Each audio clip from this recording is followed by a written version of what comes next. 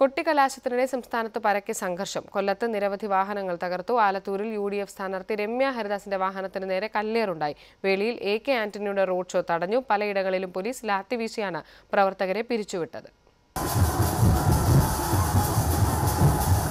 ആവേശകരമായ കൊട്ടിക്കലാശത്തിനിടയിലാണ് പലയിടത്തും സംഘർഷമുണ്ടായത്. ആലത്തൂരിൽ യു ഡി എഫ് സ്ഥാനാർത്ഥി രമ്യ ഹരിദാസിന്റെ വാഹനത്തിന് നേരെ കല്ലേറുണ്ടായി. പരിക്കേറ്റ രമ്യയെ ആശുപത്രിയിൽ പ്രവേശിപ്പിച്ചു. കോൺഗ്രസ് പ്രവർത്തകരുടെ കല്ലേറിൽ Alathur M L A K D പ്രസേനനും പരിക്കേറ്റു. തിരുവനന്തപുരം വേളിയിൽ എ കെ ആന്റണിയുടെ road show L D F പ്രവർത്തകർ തടഞ്ഞു. ആന്റണിയെ വാഹനത്തിൽ നിന്നും ഇറക്കി വിട്ടു.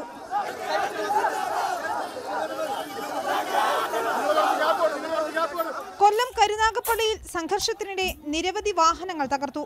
ഒരു ബി ജെ പി പ്രവർത്തകനെ കസ്റ്റഡിയിലെടുത്തു. സംഘർഷത്തിൽ എ സി പി അരുൺ രാജിന് പരിക്കേറ്റു. Vadakara വില്യാപ്പള്ളിയിൽ L D F U D F പ്രവർത്തകർ ഏറ്റുമുട്ടി.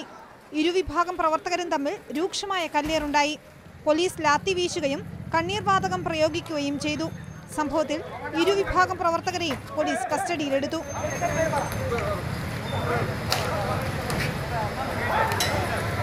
കാസർഗോഡ് കൊട്ടിക്കലാശത്തിന് അനുവദിച്ച സ്ഥലം സംബന്ധിച്ച തർക്കം സംഘർഷത്തിലെത്തി. രണ്ട് വാഹനങ്ങൾ തകർത്തു. ഉദുമയിൽ പോലീസ് ലാത്തി വീശി. കണ്ണൂർ നഗരത്തിലും മട്ടന്നൂരിലും പഴയങ്ങാടിയിലും സംഘർഷമുണ്ടായി.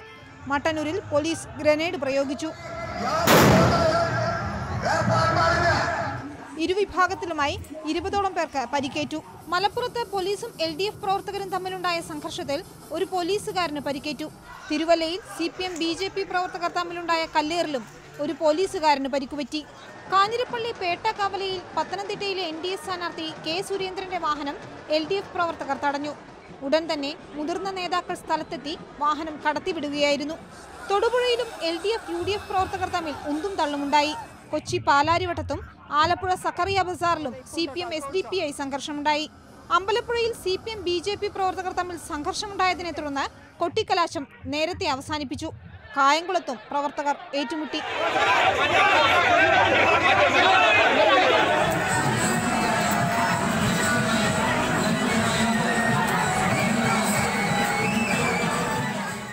തിരുവനന്തപുരം ആറ്റിങ്ങൽ വേങ്ങോട് കൊട്ടിക്കലാശം കഴിഞ്ഞ് മടങ്ങിയ സി പി എം കോൺഗ്രസ് പ്രവർത്തകർ തമ്മിലുണ്ടായ സംഘർഷത്തിൽ ഒരു കോൺഗ്രസ് പ്രവർത്തകന് വെട്ടേറ്റു. പരിക്കുപറ്റിയ സി പി എം പ്രവർത്തകനും ആശുപത്രിയിലാണ്. പാലായിൽ കൊട്ടിക്കലാശത്തിനിടെ ആനയിടഞ്ഞെങ്കിലും ഉടൻ തളച്ചതിനാൽ അപകടം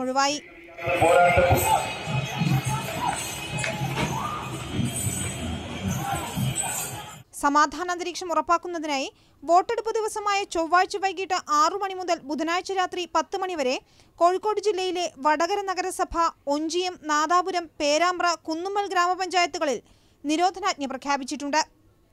വിവിധ ബ്യൂറോകൾക്കൊപ്പം ന്യൂസ് ഡെസ്ക് ഏഷ്യാനെറ്റ് ന്യൂസ്